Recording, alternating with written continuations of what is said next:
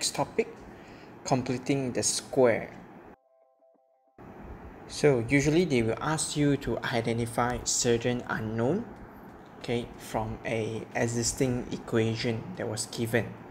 So there's actually two ways to identify it.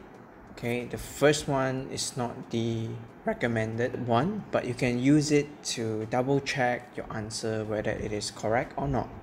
Okay, so the things that I did for the method one was to expand the x plus a square. Okay, rearrange everything, then compare the things that you've gotten with the equation.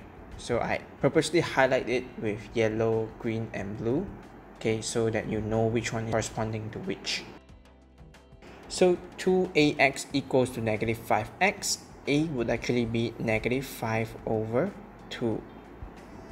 Whereby for you to identify b's value, simply square the negative 5 over 2 plus b equals to 3. b's results will actually be negative 13 over 4.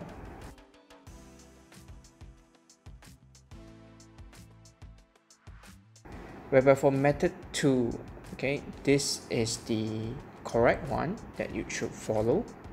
Okay, first thing first, you need to only focus on the x squared minus 5x that was given to you.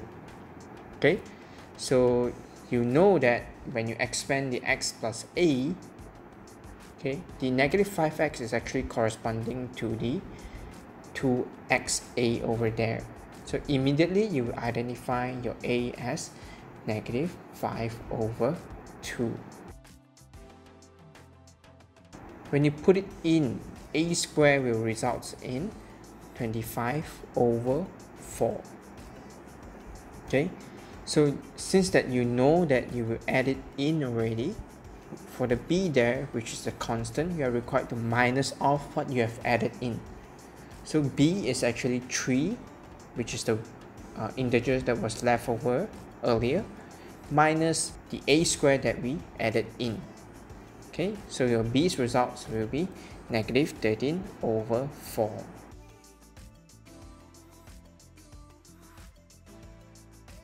So using this completing the square concept, you can actually identify the turning point. Okay, so focus on the bracket that we have there. x minus 5 over 2 equals to 0, x equals to 5 over 2.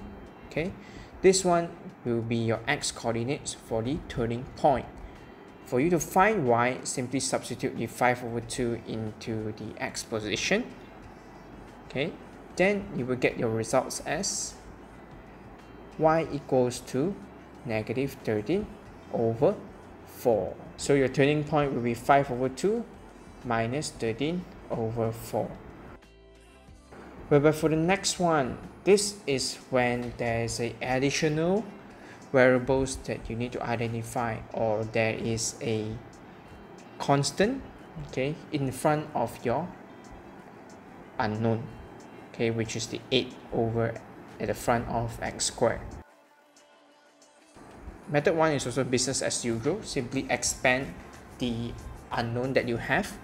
Compare ax squared to 8x squared you get a equals to 8 okay so our 2abx equals to negative 18x it becomes 18bx equals to negative 18x b is actually negative 9 over 8 whereby for c it will now be a b squared plus c equals to 4 run the calculation you will get your c as negative 49 over 8 so it is slightly tricky for you to run method 2 on this however as usual, do the first thing first, which is extract the 8 from the entire equation.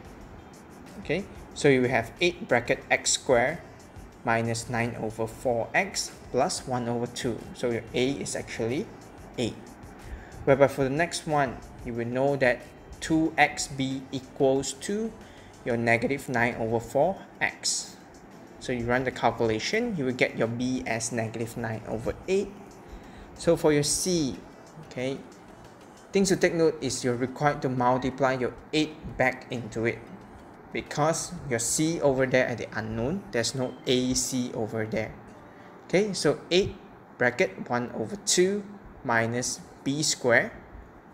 Okay, you run the calculation, then you get your c as negative 49 over 8.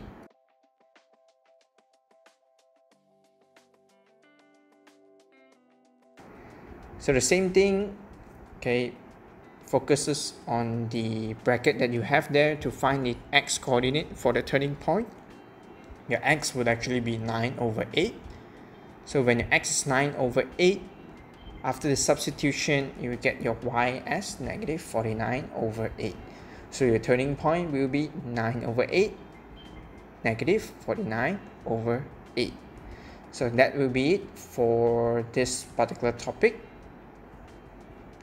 So you can run through some question and practice this to get a better understanding.